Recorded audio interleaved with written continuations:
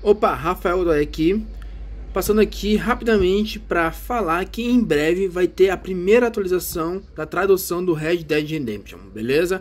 Para Xbox e PlayStation 3.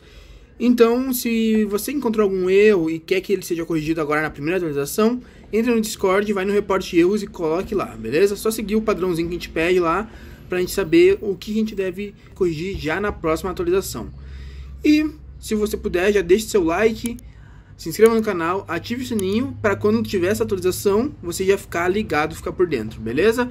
E fique com um vídeo para você ver o que espera em breve. Valeu!